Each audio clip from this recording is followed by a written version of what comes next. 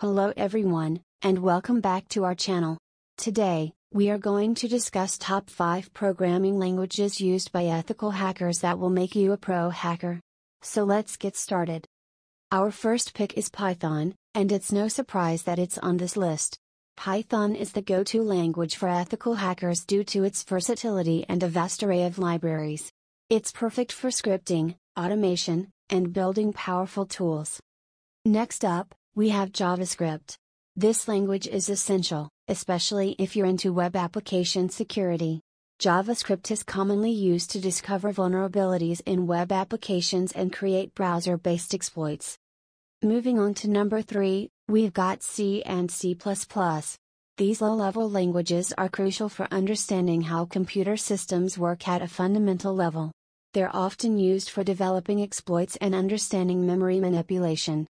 Number 4 is SQL. Understanding structured query language is essential for database security. Ethical hackers use SQL to identify and patch database vulnerabilities, making it a must know for your ethical hacking journey. Last but not least, we have Ruby. Ruby is well suited for creating Metasploit modules and automating various tasks in ethical hacking.